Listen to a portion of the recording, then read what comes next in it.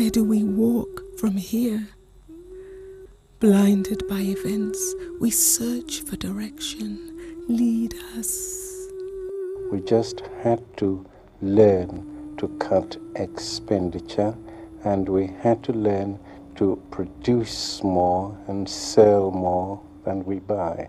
And these were lessons I was trying to teach and to tell the country about. There are certain basic things that ought to be taught in a democratic society normal courtesy, concern for one another, integrity and honesty, helping oneself, being self reliant. And these were the lessons we're teaching all over the country.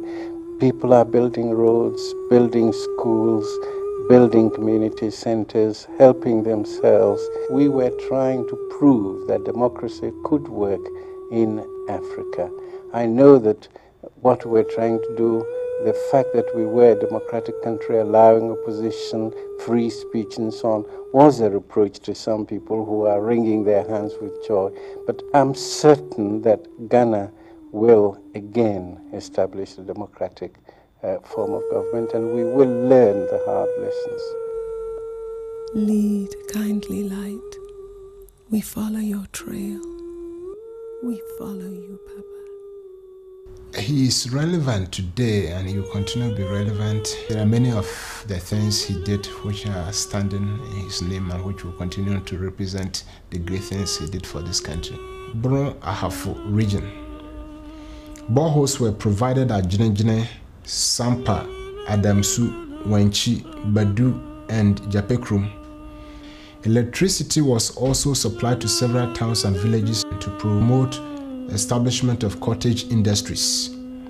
Educational projects include classroom blocks for primary, middle, and secondary schools at Yeji, Prime, Kwame Danso, Drobo, Sunyani, Bechem, Diankwanta, and Mem, as well as dormitory blocks for the Berekum and Atebubu training colleges. Among the major roles tiled are the Wenchi Techiman, Goaso Kukuom Sankore, Atebubu Kwame Danso, and many others. The PP government also tackled the construction of the Sunyani Airport. Central Region The Progress Party government constructed over 1,661 miles of roads in this region within two years. Many health facilities, including hospitals, were built. Among them was the health posts and the health center at Otuam. Health centers were also built at Bodriase, Praso, Besiasen, and Odoben. Agriculturally, a pilot maize storage scheme was implemented at Agona Swedru, oil palm nursery at Enyan Dentra, and citrus nursery at Fosu, Eastern Region. The construction of a ministerial block, bungalows, rest houses, junior staff quarters, and administrative office. Health posts were constructed at Abrim and Donkokrum, as well as the construction of health centers at Apidja, Asuboi. Electricity was also supplied to many communities, including Tafu, Bunso, Kede, Suhum, and Sumanya. Within the first two years of the Progress Party regime, 29 communities in the eastern region were supplied pipe-borne water. Over 54,000 acres of existing cocoa were replanted, while some 36,000 acres of undeveloped land were planted. Greater Accra region. Prof. Busia's administration was at the helm of the construction of the Kaneshie Market Complex, which was covered at the request of Prof's wife to protect the women sellers from the sun. A modern clinic was built at Pram Pram. Also, health centers were constructed at Temamanhiam. Dodowa, and Obuom. Several schools were constructed across the region in communities such as Pon, Apollonia, Bawaleshi, Ayukuma, Prampram, Oyibi, Efienya, and Media, Northern Region. Health facilities were constructed in many communities including Saboba, Pasempe, Tuna, Bompurugu, Gambaga, Daboya, and Gushegu. A nursing school and maintenance workshop was also built at Tamale. By the time the government left office, the following communities in the northern region had been supplied with water. upper region. The construction of the Lawra Secondary School is one of the many achievements for which Prof's administration is remembered in the upper region.